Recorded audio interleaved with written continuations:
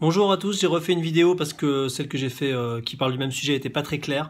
Voilà, j'ai fait, créé un groupe MiWi euh, qui s'appelle Correction pour les hiéros grammates.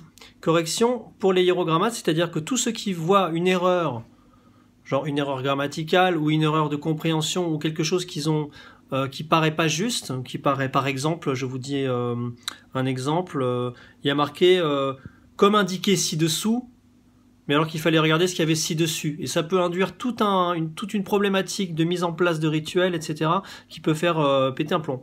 Et, et donc j'imagine que les hiérogrammates ont déjà peut-être une, une, façon de corriger les choses et d'avoir les corrections, mais je, je, trouvais pas mal de mettre un groupe MiWi pour rajouter que chacun vienne mettre euh, quelque chose euh, qu'il a vu.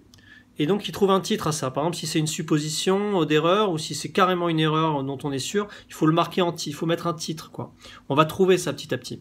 Et donc les hiérogrammates pourront venir piocher dans ce groupe pour corriger, s'ils ont envie.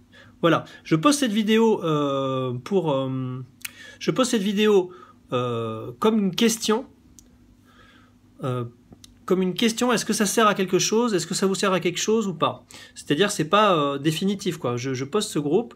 Si vous voulez vous inscrire je pense que ça peut être pas mal.